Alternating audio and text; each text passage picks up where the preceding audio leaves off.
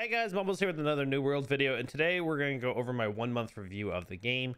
So pretty much anything that's happened in the first month as far as bug fixes, other issues, what I think about the crafting system, combat system, PvP, PvE, everything about the game. Basically what my review is in the first month, because obviously the first month is pretty much the period that really gets people hooked. Whether they're going to play this a long time or if this is just going to be like a two or three month game where they get max level and then that's it. So I'm going to go ahead and give you guys my one month review. So if you guys like this video, don't forget to drop a like, comment, subscribe, and hit the hit the bell. Hey guys, let's jump right in. So here in the background, you're going to see running through Brightwood Isle, which is an elite area in Brightwood. Uh, this is probably one of my favorite places just to farm, just because I like the lore of this place. I like the storyline. I like the. I mean, the enemies are a little low level for me, but they still give great experience for how quickly I can kill them. So pretty quick and easy experience for my weapons that I like to level up. So my first month experience of this game is I absolutely have just loved it. Um, I've met a lot of new people, got to play with a lot of new friends. Uh, absolutely had a blast playing this game. There's so much to do, and I haven't even done everything.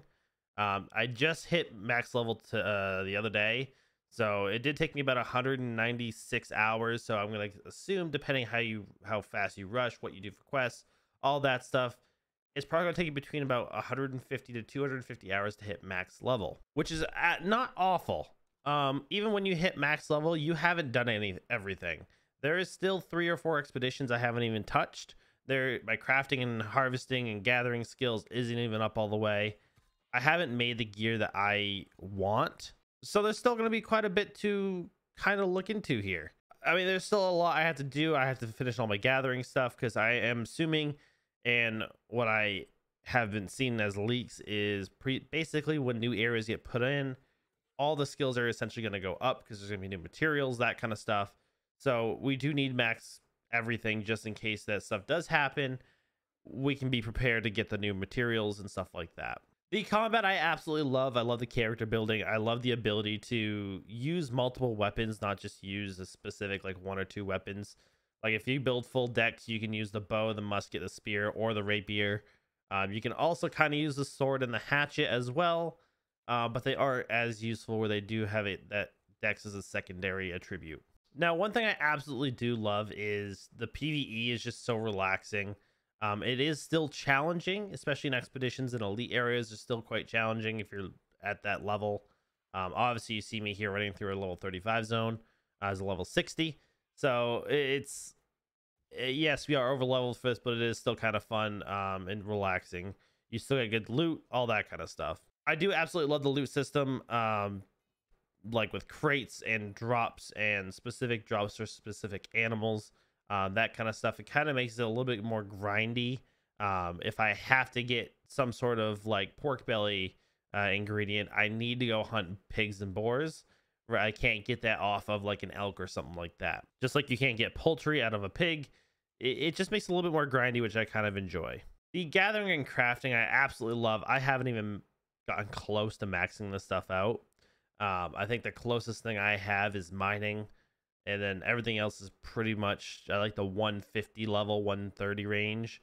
Uh, I kind of didn't focus one thing. I kind of focused a bunch of things at once, but it has been quite enjoyable. I absolutely love it the amount of stuff you can do with crafting is just crazy. It is super enjoyable, super easy just to kind of just figure out what you need, go out in the wilderness and spend a couple hours just gathering. I absolutely do love the particle effects in this game too. They look phenomenal. Any of the abilities, that kind of stuff, the picture, just everything in this game looks great. And I absolutely love that part. I don't think I've ever gone into an area in this game so far and been like, yeah, this this area sucks. Like I, I mean, besides Weaver's Fen town, which is just a nightmare to even get around in.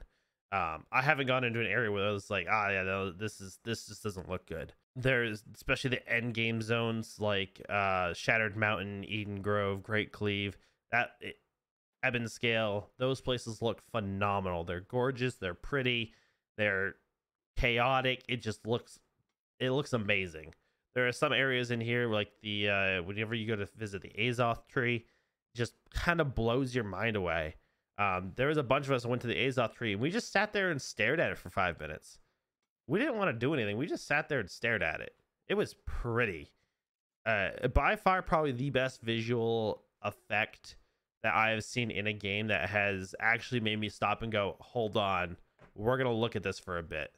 Let's take a look at this. Let's look at this. Let's enjoy it. Let's soak it in. And we did. And we all enjoyed it. We all had the same exact reaction. It was just, oh my God, this is beautiful.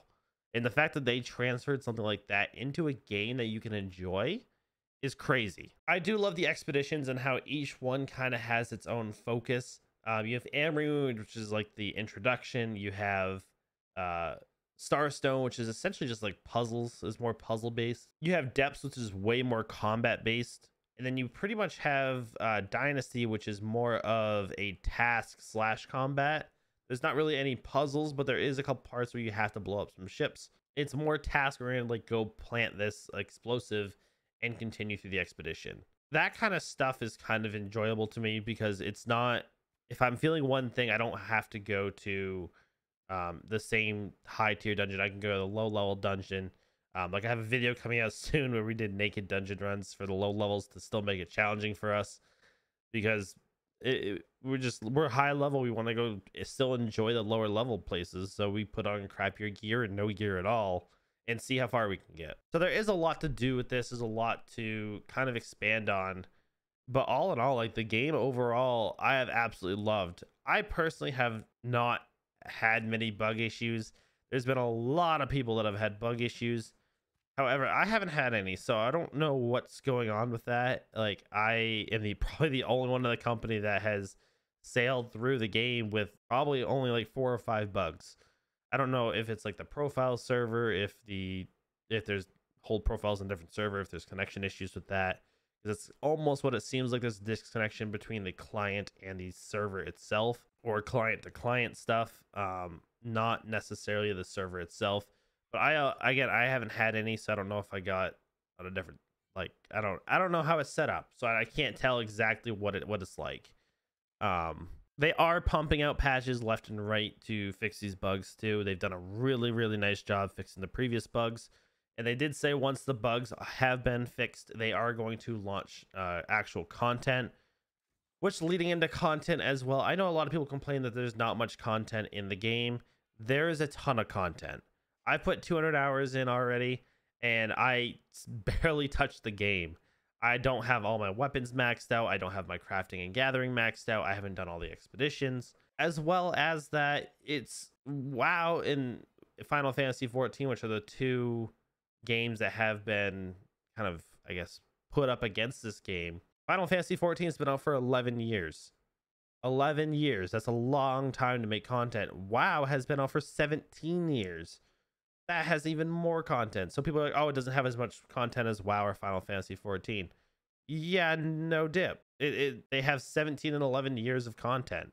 It, this is has one month, and then the the content alone. I mean, I haven't even touched most of it, so I am kind of excited to see what an end game kind of content is. I know it's a lot of running portals, outpost rush, wars, invasions, that kind of stuff. We are listed for an invasion today actually about the time that we're recording this about 40 minutes so kind of excited to record that and give that to you guys as well as my review of the invasions because i've heard invasions are incredibly hard i'm kind of excited to see what happens with them all in all if you're a mmo player and you love open world games or creativity um, medieval fantasy style games I definitely think this is a must need to at least try. It's only $40, so it's not crazy expensive. It's not like the 60 like normal uh, video games, this is actually a decent price for a game that you get this much content out of.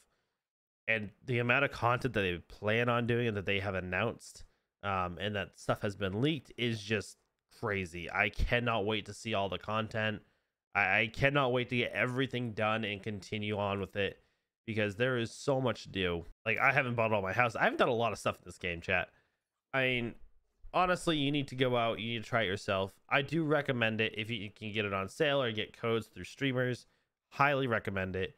Um, if you do have the extra cash, I, I honestly would try it myself. And again, this is not an ad. This is me just, I absolutely love this game. If you like MMOs and fantasy style games, the combat's fun. The crafting and gathering is just immersive and just, I, I've gone out and chopped trees for three hours. I have no shame in that. I, I, I can't have shame in that. Uh, that's what I did. I chopped trees for three hours, and I made a lot of money doing it too because aged wood was selling for quite a bit. So all in all, the bug situation, at least for myself, isn't that bad. I know some more people have more issues than others, as well as just disconnects and lag, which could be an internet issue. Um, they are fixing that. The GPU issue, from what I understand, is completely gone, so that they aren't bricking GPUs anymore. Um, as long as you update your drivers for your NVIDIA, because um, it was NVIDIA's actual, it was actually in NVIDIA's production that actually caused the bricks, not New World itself. So I kind of hope this video kind of helps you out. I do rate this as probably one of my favorite games up there. I think it might be my favorite game right now. Um, obviously, ever I've played a ton of video games, I couldn't put it on that scale just because it's I don't I don't choose favorites that much. But right now, this is probably the game I'm gonna be playing for quite a while, uh, just because of the content that's releasing, all the lore, all the stuff I have to max out. It's a lot of work and a lot of grinding. So if you like grinding games, this game is definitely for you. But guys, please go ahead and try it, or at least consider trying it. Watch a couple live streams, see how you like it, give it a try. But guys, I hope this helps you out with trying to figure out what to do with this as we finish off Havelock here in the house. Um, I do want to mention one more thing. This game in New Amazon has tried an incredible amount of, I guess, effort to make this game really, really well and they have turned this game around in a 180 since launch. Uh, with all the issues at launch, they have done a fantastic job communicating what they're going to do, giving us the patch notes early, letting us know what could be happening in the future. The company has done a very, very, very nice job of communicating that to the players, the streamers, the creators, everything. So I'm happy to bring you guys way more content for this. This is probably going to be our game for quite a while. Um, so I'm super excited to bring this game to you guys just because there is so much to it. There is so much to this game than just the surface. So thank you guys. Have a great day. Don't forget to drop a like, comment, subscribe, and hit the bell. And I hope you guys like this video. Have a great day. Goodbye. Deuces, y'all.